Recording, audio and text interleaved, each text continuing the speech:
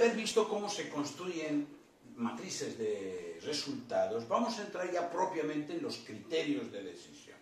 Entonces, vamos a hoy ver un poco el tema de decisiones en condiciones de incertidumbre.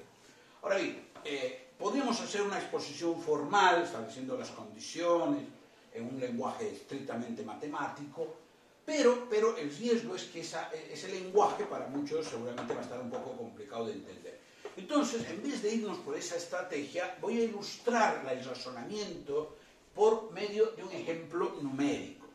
Entonces, hablamos de incertidumbre porque, recordemos, normalmente en la teoría matemática de las decisiones se habla de toma de decisiones en condiciones de incertidumbre cuando tenemos la matriz de resultados, pero no tenemos las probabilidades de los estados de naturaleza. Entonces, esta es toda la información que se tiene las alternativas disponibles y los estados de naturaleza.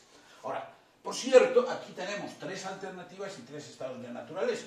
Eso no tiene por qué ser siempre así, no tiene que ser siempre una matriz cuadrada. Podrían ser tres alternativas y cinco estados de naturaleza, o podrían ser tres estados de naturaleza y seis alternativas, o ocho, etc. ¿verdad? No, no, tiene por qué ser necesariamente 3 por 3, 4 por 4, 5 por 5. No, pueden ser rectangulares estas matrices. Bien, entonces, la gente que ha estudiado este tema ha dicho, bueno, frente a esto, ¿cómo identificamos la mejor alternativa? Ahora bien, esto, la idea es que estos montos son magnitudes que queremos, son por decir ganancias, ¿verdad? Entonces, aquí tenemos que tener claro que el objetivo, el objetivo es maximizar el resultado. O sea, queremos el mejor resultado que razonablemente podemos identificar. ¿ya? Entonces, nuestro objetivo es de estos valores identificar el mejor resultado. Ahora bien, entonces, en la literatura, como les comentaba, han ido surgiendo varios criterios. En este video vamos a ver tres criterios. El primero, el primero, lo voy a poner aquí, es lo que se llama el criterio optimista. El criterio optimista optimista a veces se conoce con el nombre de Max. Max. Ahora bien, en este criterio, criterio optimista, ¿qué es lo que se hace? Agarramos y identificamos las alternativas a 1, a 2 y a 3 y en este caso para cada alternativa venimos, venimos e identificamos el mayor resultado, o sea, identificamos el máximo resultado máximo E. Entonces, para la alternativa 1, como vemos, el mejor resultado es 800. Para la alternativa 2, el mejor resultado es 900. Y para la alternativa 3, el mejor resultado es 700. Entonces, de esa manera, para cada alternativa hemos identificado el valor más alto, el resultado más alto. Ahora bien, como nuestro objetivo es maximizar el resultado, agarramos y venimos aquí y decimos cuál es el valor más alto. Y evidentemente aquí el mejor resultado es 900. Ahí está el máximo. Entonces, en este caso, para nosotros, ahora, aquí hay que tener cuidado, este es el resultado más alto, pero la mejor alternativa es la segunda, ¿no? Mejor alternativa. Entonces, en eso consiste el criterio del, optimista, o sea, la persona, digamos, que ve siempre, busca lo mejor, ¿verdad? Entonces, cada alternativa identifica el mejor resultado y finalmente, de todos los mejores resultados, identifica el mejor todavía. Entonces, ese es un primer criterio. Un segundo criterio es lo que se llama el criterio pesimista. Pesimista. Ahora bien, en este criterio, en este criterio, la persona va a razonar al revés. Entonces, normalmente podríamos nosotros llamarlo así, maxi-min. Maxi-min. ¿Qué queremos decir? El detalle está que no nos olvidemos que nuestro objetivo es el máximo. Entonces aquí decimos el máximo de los máximos. Aquí en cambio vamos a decir el máximo de los mínimos. Entonces, en este caso, lo que vamos a tener son las tres alternativas, A1, A2 y A3, y en este caso la persona es pesimista. Entonces, cuando viene a la alternativa, uno dice, ¿cuál es el peor resultado? 100. Entonces, agarra y identifica el peor resultado, 100. Luego viene a la alternativa 2 y ve nuevamente cuál es el peor resultado, 200. El peor resultado es 200. Finalmente viene a la alternativa 3 y mira, y aquí está, el peor resultado es 300. Entonces la persona es pesimista e identifica el peor resultado asociado a cada alternativa. Pero no nos olvidemos que lo que se trata es de maximizar el resultado.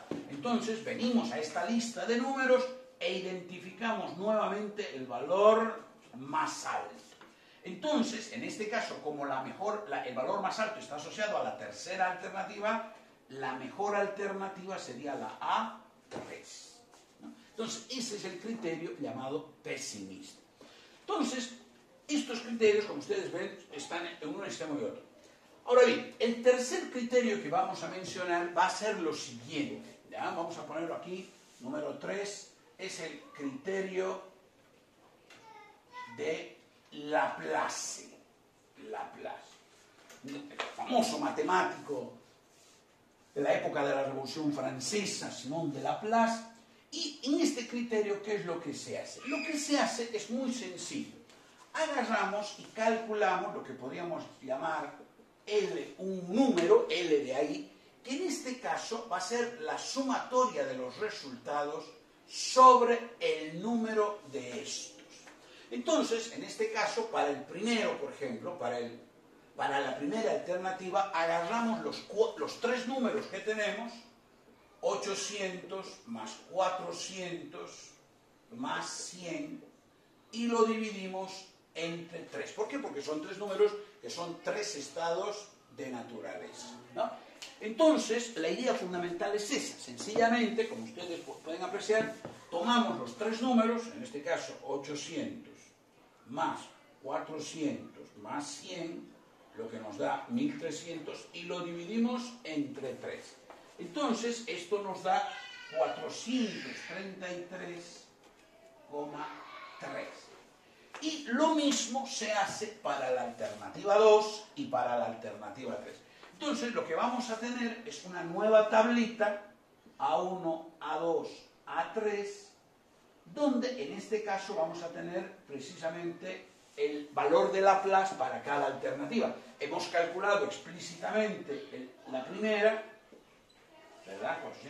433,3, y para la segunda sería la suma de estos números, 200 más 500 más 900, sería 200 más 500 dividido entre 3 nos da 533. 533,3 y finalmente para la última tendríamos 600 más 300 más 700. 1600 dividido entre 3, 533,3.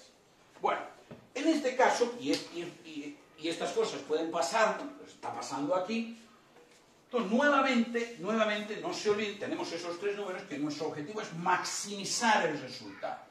Entonces, vendríamos a buscar el valor más alto.